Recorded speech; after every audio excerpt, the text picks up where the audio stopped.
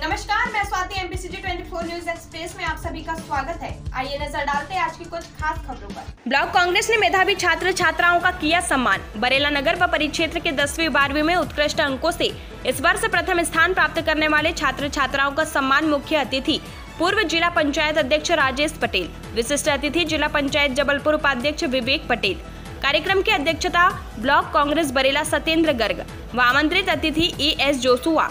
Mayank Sahu, Ramakant Pande, Mukesh Patel, Naresh Patel, Vipin Jharia, Sheikh Salim, पार्षद भूपेंद्र यादव, पार्षद रश्मि संजना, भाई साहब पटेल, रामजी रैकवार, विजय जैन, अनुराग पटेल, सारिका गौर।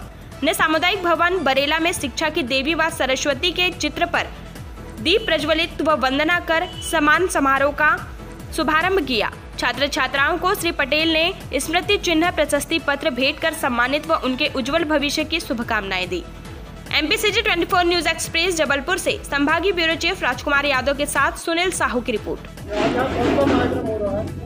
आज हमारे जो टेंथ और ट्वेल्थ में बरेला परिषद के बच्चे, जो कि मेरिट में आए हुए हैं 80 परसेंट या उनसे अबो जो भी बच्चे टेंथ और ट्वेल्थ में आए हुए हैं, उन सब बच्चों का कांग्रेस परिवार की तरफ़ से सम्मान किया जा रहा है।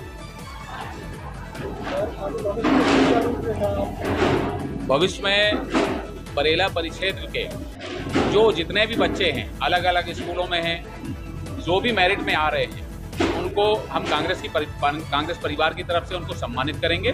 तो चूँकि हमारी विचारधारा ही है कि हम बच्चों को उनके भविष्य के लिए आगे बढ़ाएँ, कांग्रेस को और कांग्रेस की विचारधारा जो है, हमें बच्चों को आगे ले जाना है। हमें बच्चों को भटकाना नहीं है। जैसा कि बाकी के मुद्दों को लेकर के बाकी पार्टियाँ जो है इधर उधर डाइवर्ट करके वो भड़काती हैं। हमें बच्चों को स्थायी, उनको पढ़ाई लिखाई में आगे बढ़ाना है, उनके भविष्य को आगे बढ़ाना है। जब हमारे बच्चों का भविष्य अच्छा होगा, निश्चित रूप से हमारे देश का भविष्य जो है बहुत उज्ज्वल रहेगा। राजेश पटेल, पूर्व अध्यक्ष, जिला पंचायत जबलपुर।